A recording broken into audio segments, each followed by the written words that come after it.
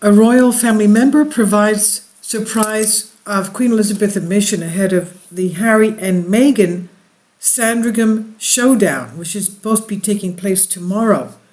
Prince Charles is returning from his trip to the Middle East.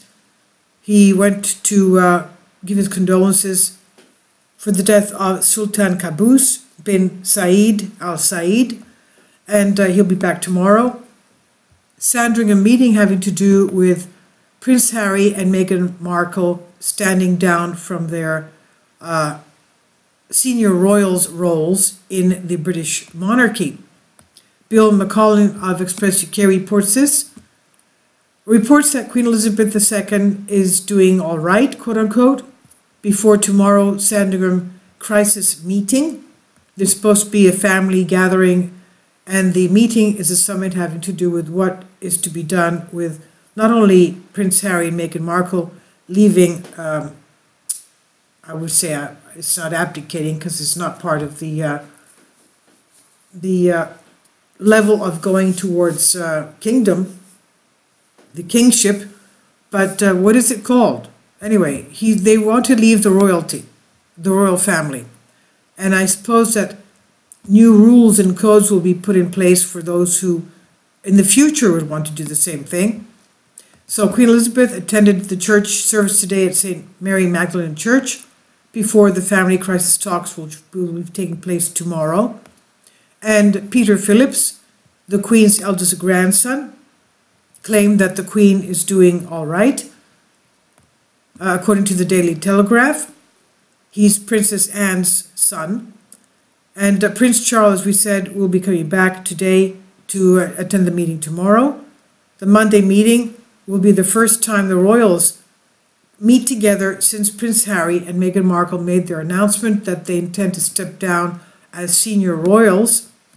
And after the decision from this couple, it was reported that Her Majesty Queen Elizabeth had not been informed of their decision.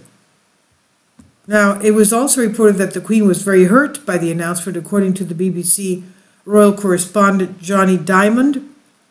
Since that announcement, Harry remained in the UK, but Meghan Markle is in Canada uh, and will reportedly join the discussions remotely. I, I believe that they're going to be talking to her through Skype or telephone or something.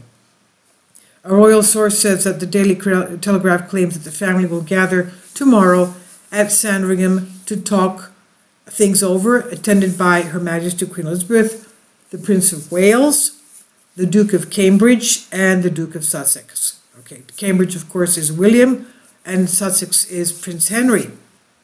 So, uh, the Prince of Wales is uh, Prince Charles, Queen Elizabeth's son. Now, after the series of meetings and consultations across the last few days, there are a range of possibilities for the family to review, which take into account the thinking the Sussexes outlined earlier in the week. They said, as we have said previously, making a change to the working life and role in the monarchy for the Duke and Duchess of Sussex requires complex and thoughtful discussions. Next steps will be agreed at the meeting.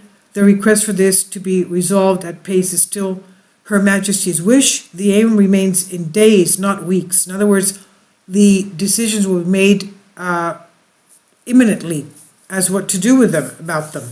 According to the paper, Prince William said, I've put my arm around my brother all our lives, and I can't do that anymore. We're separate entities. I'm sad about that. All I can do, all we can do, and all I can do is try to support them and hope that the time comes when they're, we are all singing uh, from the same page.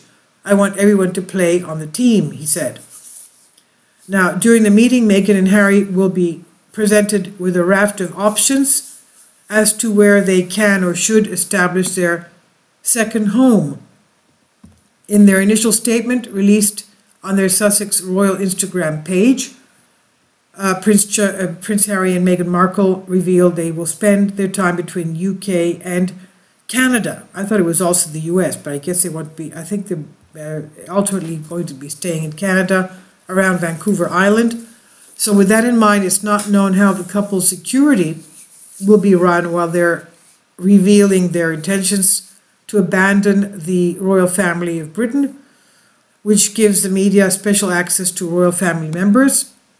And uh, from what I briefly read from other columns, other articles, um, the Canadians are not very enthusiastic about picking up the bill of uh, somehow um, paying for their security, for their uh, bodyguards, etc. So we'll see what happens tomorrow. We'll keep an eye out on this. I'm very shocked. I still don't understand what's going on. I thought that Meghan understood her role as uh, a new member of the royal family, uh, what was expected of her, and uh, this is giving also her sister a, a very great chance of uh, talking against her again. Um, I can imagine Queen Elizabeth being very distraught over this because, you know, as careful as she wants to be concerning the royal family, there's always events like this taking place. Uh, she must be shocked and really hurt over this. We can imagine.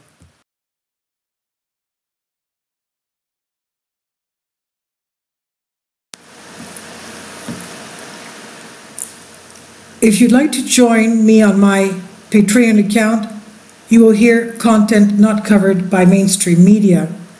These riveting stories will be based on my research, and I will state my opinions and give my personal insight on diverse and controversial subjects and world events, events not covered by mainstream media, and not certainly on not supported by YouTube guidelines. So whatever I have on my Patreon most of those will not be on my YouTube channel.